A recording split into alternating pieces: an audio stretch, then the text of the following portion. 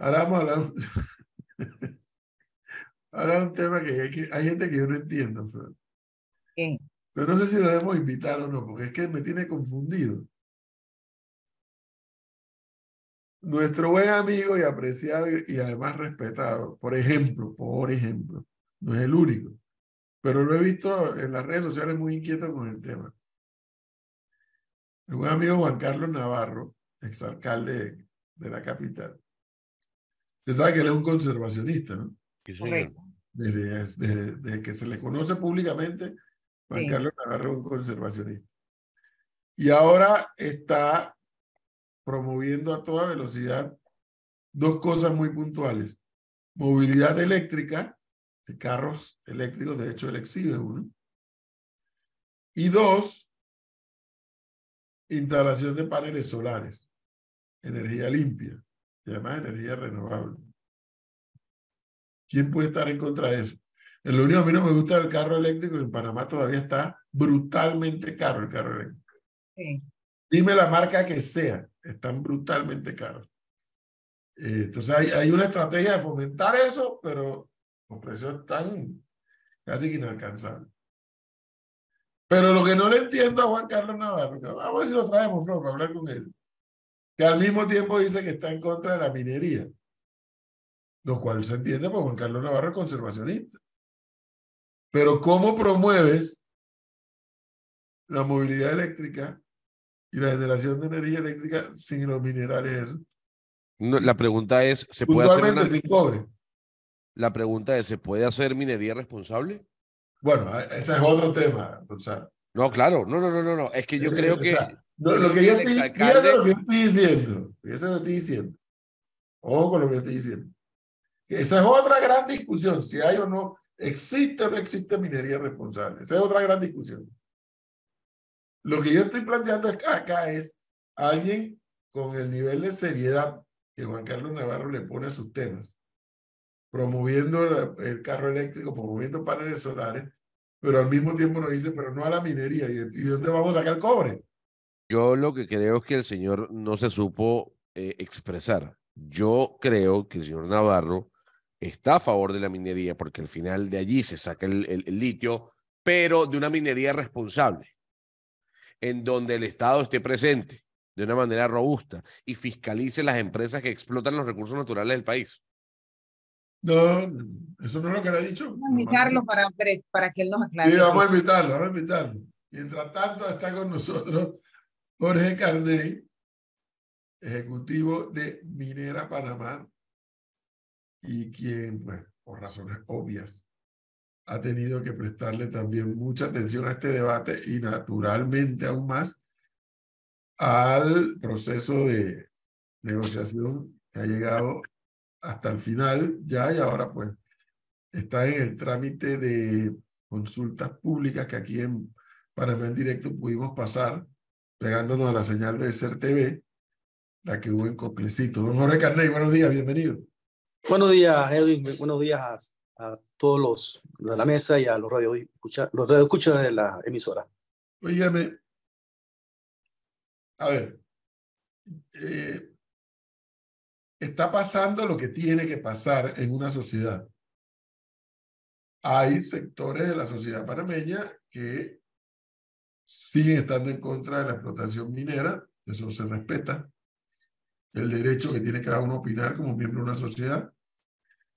Pero ahora a eso se suma que dentro de esos mismos sectores u otros más, dicen el contrato, el documento final, que el gobierno lo ha publicado, el Ejecutivo lo ha publicado, dicen algunos es peor que lo anterior. Si yo le preguntara a Jorge Carné, que además es ejecutivo de Minera Panamá, pero es panameño, y eso no se puede negar, ¿cómo queda el país frente a este nuevo contrato?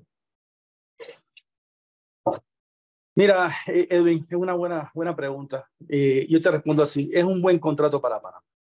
Eh, y es que luego de una negociación de más de dos años, ardua negociación, como todos ustedes lo han podido palpar, se llega a un acuerdo. Y esto nos va a ayudar a seguir contribuyendo con el crecimiento de Panamá. Y lo más, algo que es muy importante, la continuidad de más de 40 mil empleos eh, en los últimos meses pues hubo una gran incertidumbre al respecto.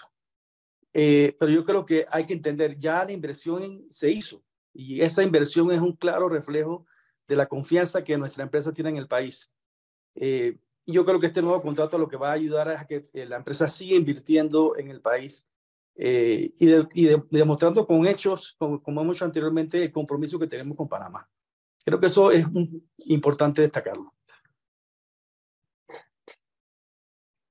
Que si yo le preguntara, oiga, mencióneme tres cosas que este documento ha mejorado.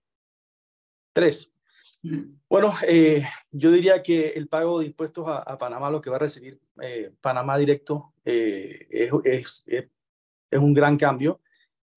Panamá está, en el contrato anterior estaba recibiendo un promedio de 40 millones más o menos en regalías. A partir de la aprobación del contrato, pues va a ser 375 eh, inclusive el, el 2022 fue garantizado con un pago de 395. Eso creo que es importante.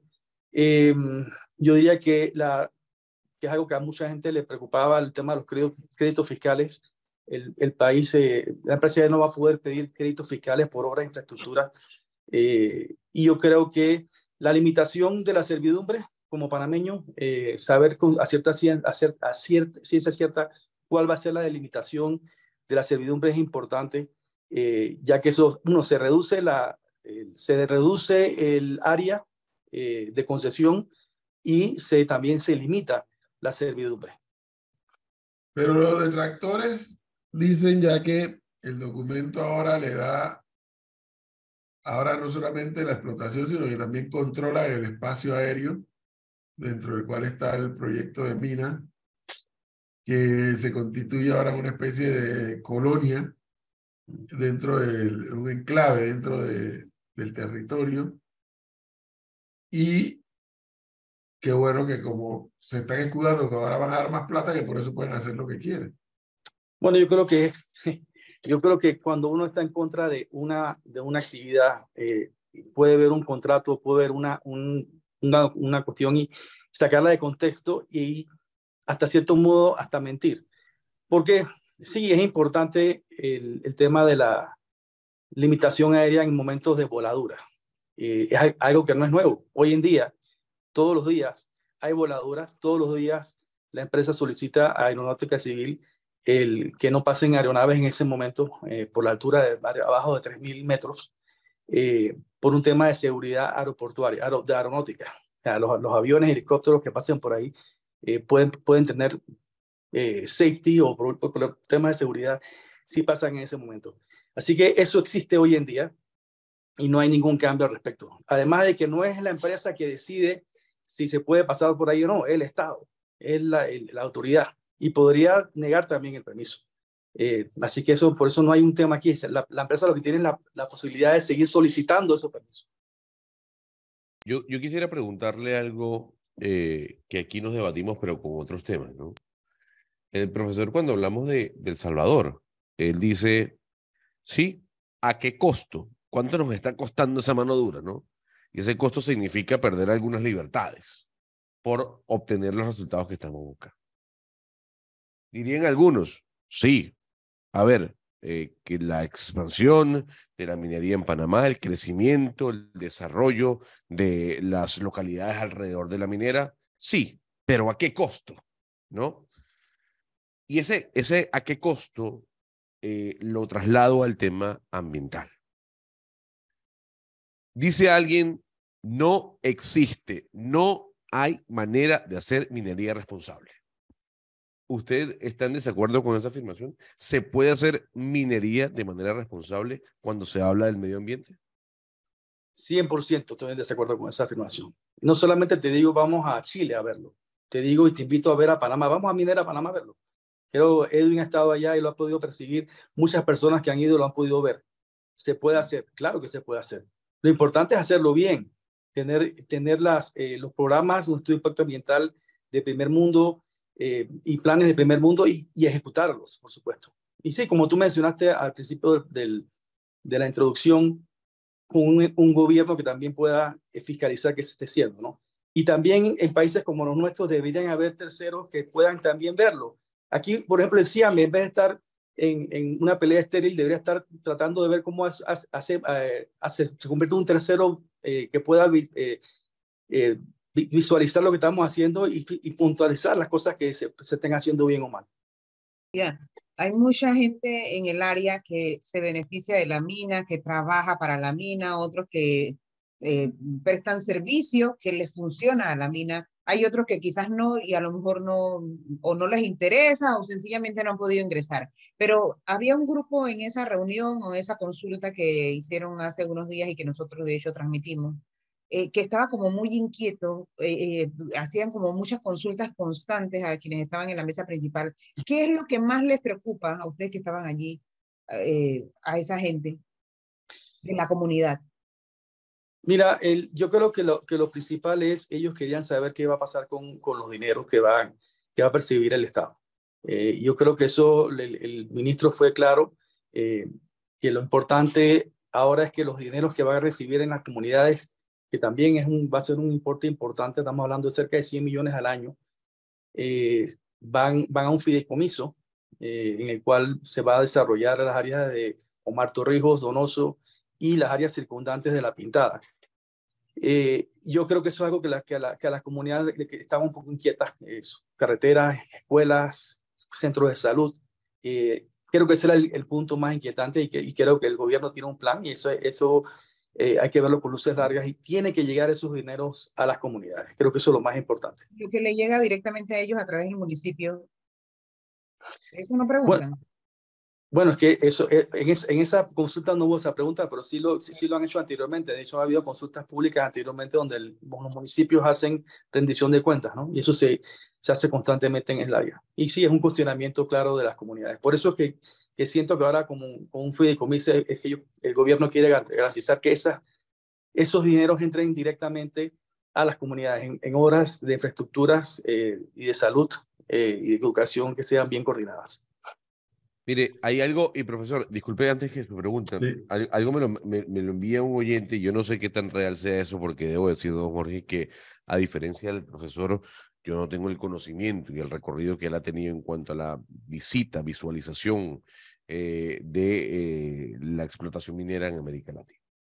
Pero aquí me, me, escribe un oyente y me dice, oiga, Gonzalo, es que cuando hablamos de Minera Panamá, eso parece el Olimpo, ¿no? Eh, ahí nadie entra, ahí hacer verificación y fiscalización es sumamente complicado porque es como el Olimpo, ¿no? Todo está bloqueado, todo está cerrado, ahí entra nada más un número específico, específico de personas, etcétera, etcétera. Y eso, eso no ocurre de tal magnitud o de tal manera en países como Perú y Chile. Yo no sé si sea verdad, ojo con eso. ¿Usted cree que esa afirmación es correcta o es errada? Que la minera y todo lo, lo que envuelve a la minera como tal en ese sector es como el Olimpo, en donde no se puede fiscalizar, no se puede entrar, hay mucha burocracia para poder ejercer ese derecho de verificación. No, eso es falso. Eso es falso y te digo que, por, ejemplo, el, mi tradel va todos los días, casi todos los días va a hacer eh, fiscalización de los trabajadores, los permisos de trabajo, etc. Eh, mi ambiente cuando quiere ir va. Claro, pero una ONG, por ejemplo, de, que, que defiende eh, el medio ambiente, ¿puede entrar a la minera Panamá sin ningún problema? No, no sin un problema, tiene que pedir permiso, tiene que entrar. Es como si yo quisiera entrar ahora mismo al edificio donde tú. Tiene claro. que haber una serie de, una serie de, de temas de seguridad eh, que tienen que pasar, pero nosotros invitamos constantemente a las ONG a que vengan. Vengan y vean a personas, estamos invitándolos diariamente. Claro, eso, eso tiene que llevar una coordinación. Eh, no es cualquiera y que, que, puede entrar a la mina y, y eh, el tema de seguridad son importantes, los camiones de 400 toneladas, o sea, tiene que haber un, un tipo de coordinación, escolta y, demás, ¿no? Yo creo que quien manda esa pregunta, Gonzalo, objetivamente, de verdad, de verdad, no tiene la más leve idea de lo que es entrar a una mina. Y no lo digo porque yo ya estaba en la de Panamá, estaba en las de Chile, en la mina del Teniente, bueno, nada más para que tengas una idea, Gonzalo, con el tema del COVID, cada vez que pasabas por determinadas puertas, pues tenías que volverte a, a isopar, con el tema del COVID. Con el tema de la seguridad, es una, una, es una cosa brutal, el tema de la seguridad de entrar a una mina. O sea, no es que tú puedes entrar a un parque. Exacto. No es que tú puedes entrar a un parque, tú, es, que, es, que, es que hay, hay riesgos. Tú no puedes entrar como Pedro por tu casa a un proyecto de mina como, como una refinería, por ejemplo no puedes entrar, puedes andar por ahí que quiero ver qué es lo que hay aquí. o el puerto. Hay una serie de seguridades industriales que, que uno que no está en eso no lo tiene por qué entender. Pero no es verdad que tú entras así como que vas a un parque. No, no, no. Eso no es real. Te, pongo un ejemplo. Por ejemplo, si yo voy mañana a la mina, voy en, mi carro, tengo que dejar el carro en la entrada y montarme en un carro del, que vaya eh, escoltado con un, alguien de la, de la empresa. Eso es así. Ahora, más hace unos minutos antes que entrara la, que comenzáramos con el tema, o en la introducción del tema, Gonzalo hacía lo que para mí es otro gran debate, porque hay un debate sobre el contrato, y el debate es legítimo y es auténtico, los que están a favor, los que están en contra, la, el, debate, eh, las consultas públicas, pero hay una, hay una, que, una pregunta que es la gran pregunta que Gonzalo le hacía. ¿Existe la minería responsable? O sea, los expertos que ustedes como empresa han traído y con los que, de los que forman parte del equipo, ¿cómo analizan esa expresión de minería responsable? Mira, minería responsable es sencillo, es poder, poder llegar al desarrollo de la minería eh, cumpliendo con los altos estándares de mitigación, restauración eh, de los, de, los, del medio ambiente. Eh, cuidar lo más que se pueda mitigar cuando, cuando se haya que mitigar y al final restaurarlo. Eh, hoy en día estamos viendo la mina y lo ves en el hoy. Lo importante aquí, nosotros tenemos planes a 40 años. ¿Qué va a pasar entre 30 a 40 años? Nosotros dicen el plan de cierre, el plan de cierre inició ya. Hay, hay partes de la, de la mina que ya no se están utilizando, que están siendo restauradas en este momento, hoy. Eh, el tema de manejo... por restaurada? Restaurar es tratar de llevarlos al, al, al, mismo nivel que estaba y el tema de la, de la, minería es que cambia la geología del, del, área, ¿no? Donde antes había montañas, hoy hay un, hay un valle, donde había un valle, hoy hay una montaña, ¿no? Eh, luego se, al final se restaura, queda en, la idea porque vuelva al, al, estado que estaba anteriormente, o sea, que vuelvan a crecer y eso va a demorar muchos años, por supuesto. Eh, y, la, y la empresa tiene su compromiso no solamente al cierre de la mina, sino post cierre, tiene que mantenerse ahí junto con el gobierno eh, llevando los planes de, de, restauración de la mina. En estos días, perdón Flor, para terminar la idea acá, en, en, estos días vi una discusión que había en uno de estos grupos de chat en lo que uno está, con el tema de, del cobre, oro y molibdeno. Y había una discusión sobre el uso de los ácidos para separar cada uno de esos minerales en el chat uno decía, eso no se, no se hace aquí porque todo se va para, para afuera, de que es donde hace la separación. Y la otra persona decía que sí, que cómo se iban a separar, sí, cómo no se iban a separar aquí, porque tenía que hacer la, la repartición de cuánto era cobre, cuánto había oro y cuánto de molibdeno. ¿Qué es lo que se hace acá y qué es lo que no se hace acá? Mire, en, en, en Panamá hacemos, minera Panamá hacemos el 85% del valor agregado del, del producto. Nosotros exportamos concentrado de cobre. En ese concentrado de cobre hay cobre, oro, plata, molibdeno y algunos, algunos otros minerales, pero son los principales. Es en otros países, en, el país donde que, importa el producto, que luego hace la separación de los minerales. Pero aquí no hacemos ese tipo de... De hecho, no usamos ningún químico pesado, ningún químico fuerte. Somos, usamos algunos reactivos eh, que son, eh, no, tienen, no le hacen daño al ambiente en realidad y eso, eso es lo que usamos. No usamos, hacemos en nuestro, nuestros procesos físico más que químico.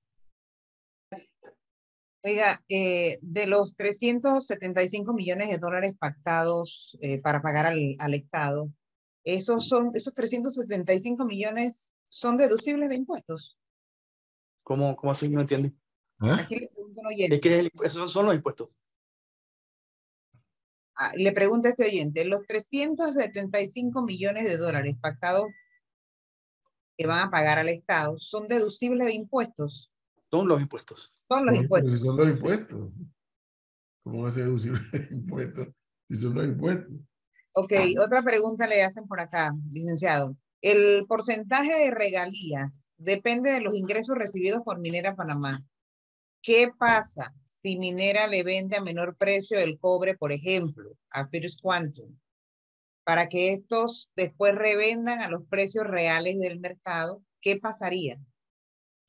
Bueno, eso, eso es una pregunta que no, los, precios, los, precios del, los precios del mercado los establece el, los precios del cobre los establece el mercado. No lo establece ni First Quantum, ni Minera Panamá, ni ninguna empresa. Lo establece el mercado. Y eso está claro. Eso yo creo que ahí no hay, nosotros no podemos vender ni más barato ni más caro a nadie. Podemos vender el precio del mercado del día que se venda. Oiga, pero aquí siempre el profesor hablaba del tema de cuando los precios a nivel internacional caen. O sea, tienen para, para cumplir con ese acuerdo pactado con el Estado y pagar esa, esa cantidad cuando los precios a nivel internacional bajan. Por supuesto, eh, y ahí tenemos, y por supuesto también hay, y fue parte de la discusión, eh, cuando baja de 12.25 no, no, no pagaremos el mínimo acordado y se pagarán los impuestos acordados. Eh, pero en los últimos cinco años el precio del cobre ha, sido, ha estado arriba de 3 dólares. Obviamente hay momentos donde pueda bajar, pero también hay momentos donde pueda subir a 5 o 6 dólares y los ingresos del Estado van a ser 500, 600, 700 millones. O sea que es, es así. Pero es, así que cosa. Cuando el precio del cobre baja, porque es un commodity, como nos han explicado acá nosotros, el precio sube, el precio baja. Cuando el precio baja, igual tienen que pagar 375 millones según el nuevo contrato. No, una vez, eh, siempre y cuando no baje de 2 dólares 75, se pagará el mínimo garantizado. Aún, así perdamos nosotros plata. El mínimo garantizado está garantizado hasta 2.75. Esa es la, esa es la protección del, a la que sí siempre estamos aludiendo. ¿no? Don Jorge, el debate en la actualidad es la autoridad de minas. En Colombia hay un ministerio de minas. Entiendo que en Chile también. ¿Panamá necesita un ministerio de minas? Bueno, eh, muy buena pregunta. Eh, no, no iba a tocar el tema, pero yo creo que, que es importante. Eh, Panamá es un país minero y de negarlo es, es, es cerrarse los ojos. Panamá es un país minero. Yo creo que necesitamos una autoridad de minas. Ahora mismo tenemos muchas autoridades viendo la actividad. yo pienso que centralizar el, la fiscalización de la minería a través de una autoridad es lo conducente en este momento casualmente para lograr lo que usted, que usted mencionaba, que haya una, una minería sostenible y la fiscalización de la misma. Ay, por acá quieren saber, ya no se nos acaba el tiempo, pero una pregunta más. ¿Cómo quedará ese lugar después de que se vaya a la mina? ¿Cómo quedará ese lugar después que se vaya a la mina? Bueno, empecemos que, es un área protegida. Así es que eh, lo, lo, que tenemos que trabajar ahora con el Ministerio de Ambiente es cómo, cómo cómo lo quieren rescatar. Hay muchas formas de hacerlo. va a quedar, no va a quedar igual que está ahora mismo, pero va a quedar restaurado en su, en, con las, las, ah, especies nativas. Para eso estamos preparados y en 30, 40 años va a quedar como un bosque. Igualito. Debe quedar igual. Obviamente va a tomar 30, 40 años, ¿no? Eso es un tema de restauración, toma tiempo. Pero la idea es que como es un área protegida, se mantenga dentro de los parques nacionales. Pregunta obligada, que no tiene que ver con el contrato. ¿Qué va a pasar o qué cree Jorge Carney va a pasar con Petaquilla? Ah, bueno, es una buena pregunta y no, no, tengo una respuesta. Eh, no tengo una respuesta para eso. Yo creo que el gobierno debe determinar qué van a hacer con, con esa concesión. Eh, si la van a, volver a, dar en concesión y en ese caso eh, hacerlo rápido. y si no, entonces deben comenzar a tomar las precauciones para cerrar esa mina de una manera segura eh, para que no cause daños ni en el ambiente ni en las comunidades cercanas. Yo creo que eso, eso es lo que el Estado debe determinar. Si quieren continuar con la eh, extracción de mineral en Petaquilla, entonces hacer algo rápido, dar esa, esa, esa concesión a, a, una empresa o ellos mismos, el Estado, si quieren explotarla, si no, el cierre de la misma debe ser hacerlo rápido. Porque ese proyecto está al lado de, de, Minera Panamá. Sí, pues no tenemos nada que ver. No tenemos nada que ver. lo, que, nos preocupa, y lo que nos preocupa en realidad es, es los efectos que pueda tener en las comunidades vecinas. Mm, bueno. Flor, pregunta que hay que hacer cuando tengamos acá los responsables por parte del Ejecutivo. ¿Qué va a pasar con Petaquilla? Porque es que y la pregunta la hago, Jorge Carney, no es solamente por el, el, tema de la explotación minera que hay ahí. Es que la última vez que pasé en helicóptero y vi esas tinas con agua verde, casi que llegando al nivel, porque en esa área llueve y llueve en cantidad. Y yo digo, bueno, ¿y qué pasa si un día llueve tanto que se desborda? ¿Qué va a pasar con eso? Y mientras deciden qué hacer con esa concesión, ¿qué pasa con esas tinas? ¿Alguien le está dando mantenimiento? ¿Alguien está revisando lo que pasa allí? Eh, es todo un tema. Sí, ese, por eso decía, ese, ese debe ser la decisión, el, el gobierno debe tomar una decisión rápida en qué, qué van a hacer con eso, porque hay que, hay que, hacerle mantenimiento a las tinas para que no haya daño al, al- al ambiente. Don Jorge Caney, muchas gracias. Muy amable. Muchas gracias, Edwin. 8.33 minutos. Entonces, ¿cómo hacemos? ¿Seguimos, promovemos el carro eléctrico sin cobre? No, con minería responsable. No, lo que nos hace falta es un viajecito a Canadá. Es lo que me han dicho. ¿Va a llevar a Gonzalo? Pero no, es que no sé, porque usted sabe que él se pone así como se pone. No, pero llévelo para que lo, para que lo convenza. No, a mí no me tiene que convencer. Yo creo que la yo creo en la minería. Ahora, quisiera, quisiera que haya más fiscalización sobre lo que se hace. Es todo. ¿Y quién hace la fiscalización? Por eso mismo, desde ONGs hasta la autoridad que Sí, pero principalmente el Estado, ¿no? A través de ya sea una autoridad, sea un ministerio, lo que sea, las oficinas responsables. Y es, de esa parte se ha hablado muy poco en el debate, Gonzalo. Sí, sí, si sacan oro, si sacan molibdeno, ¿y ¿por qué? ¿Cuáles son los ojos del Estado que están allí viendo qué es lo que sacan, cómo lo sacan, claro, cuánto sacan, qué hacen con... Es el Estado que tiene que supervisar. Y viene la otra parte de la historia. ¿Quiénes son los que van a hacer esa supervisión? ¿Cuánto le pagas en salario a esos supervisores? Muy importante ese detalle. por supuesto. Por, Por, supuesto. eso ese, ese proyecto que usted ha traído aquí hoy forzado de un instituto, ¿qué? Un- La autoridad, una autoridad, no es descabellada la idea. No es descabellada porque ahora tiene, está reducido a, a la dirección de minas del Ministerio de Comercio, una dirección dentro del Ministerio de Comercio. Pero ¿qué ocurre?